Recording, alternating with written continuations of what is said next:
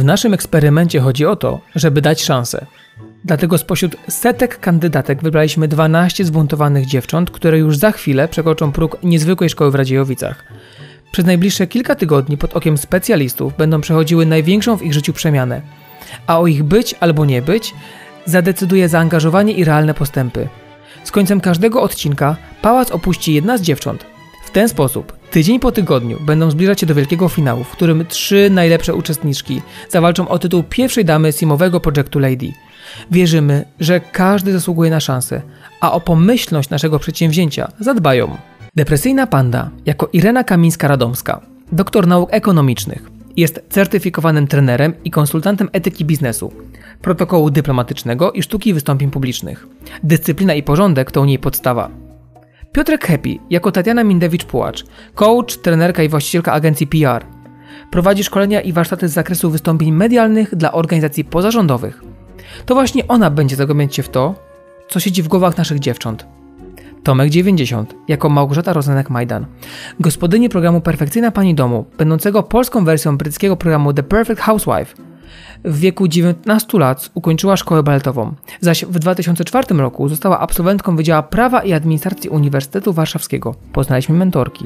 Poznajmy również i uczestniczki. Oto Hanna Landgrab. Właściwie teraz po prostu Honey. Taki przyja kryptonim po ucieczce z domu. Miało już dosyć, dosyć całej burżuazji, dosyć swoich obrzydliwie bogatych rodziców, wyzyskujących zwykłych simów, dosyć swojej perfekcyjnej starszej siostry, dosyć tych manier i kultury, oszustw i korupcji. Uciekła i w końcu poczuła wolność. Została prawdziwą simką kwiatem.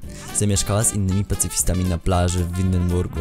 Teraz liczy się dla niej tylko wolność, kolorowe światła i pokojowe manifestacje. Tu nikt jej przecież nie znajdzie. Karyna Kulka.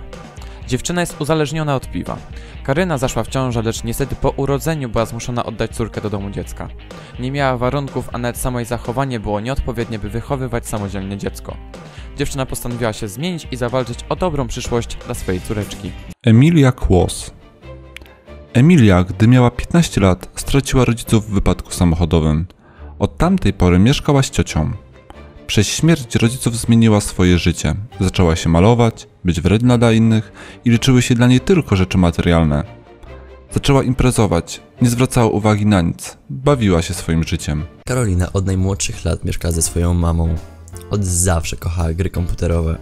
Pomimo skończenia szkoły średniej, nie usamodzielniła się i nadal żyje na garnuszku swojej mamy. I to właśnie ona zgłosiła ją do programu, ponieważ ma dość widoku swojej córki, siedzącej całymi dniami przy komputerze.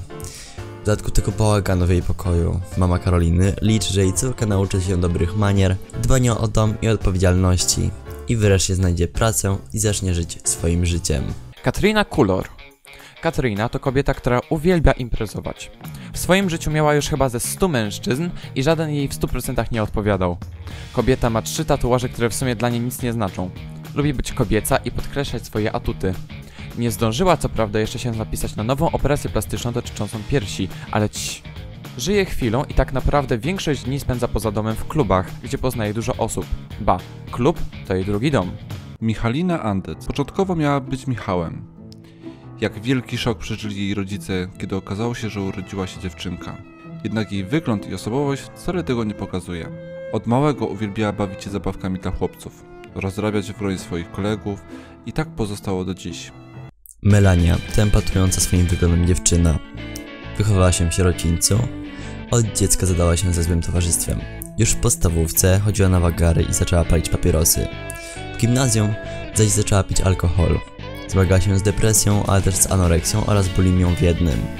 Zgłosiła się do programu, aby zmienić sobie wygląd, ponieważ ludzie oceniają ją tylko po wyglądzie. A tak naprawdę to bardzo dobra dziewczyna. Chce też pozbyć w sobie zazdrości, przed którą zerwał z nią chłopak. Madeleine Witness. Madeleine wychowywała jej mama oraz dziadkowie. Dzieciństwie żyła bardzo skromnie, gdyż emerytura dziadków i niska pensja jej matki nie starczała na utrzymanie całej rodziny. W wieku 16 lat poznała chłopaka, do którego przeprowadziła się bez zgody opiekunów. Nawet nie zauważyła, kiedy jej ukochany przestał być jej wierny. Załamana Madeleine zaczęła kraść, imprezować, pić w dużych ilościach i palić nie tylko papierosy. Teraz chce się zmienić i zapomnieć o złej przeszłości. Dla osób, które naprawdę ją kochają. Monika Kinom. Monika pochodzi z dobrej i zamożnej rodziny.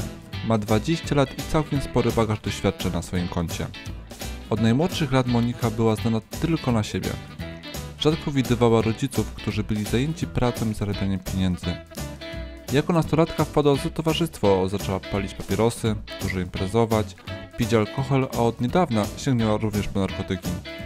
Jest wredna, leniwa i szybko się nerwuje. Witam Was Monika. Bardzo charakterna dziewczyna z walecznym sercem. Przeżyła trudne dzieciństwo oraz opiekę nad maluteńkim bratem, który trafił do domu dziecka, gdyż opieka społeczna zainteresowała się rodziną. Monika bardzo dbała o to, by mieli co jeść, lecz ich rodzice nie przejmowali się nimi.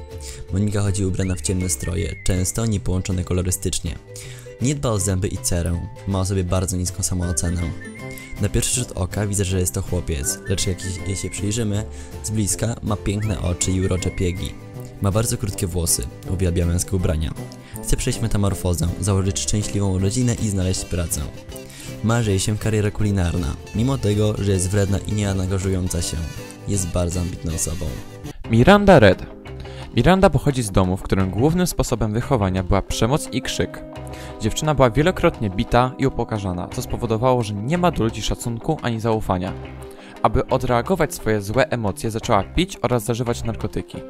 Po wyjściu z aresztu, do którego trafiła po próbie kradzieży, postanowiła, że chce zmienić swoje życie i nauczyć się funkcjonowania w swoim otoczeniu. Jak potoczą się losy zbuntowanych dziewcząt w pałacu w Radziejowicach? Czy podołają walce z własnymi wadami i doprowadzą do prawdziwej przemiany? Która z nich otrzyma tytuł pierwszej simowej damy? Project Lady Summer Camp zaczyna się już za tydzień, w piątek o godzinie 15. Do zobaczenia.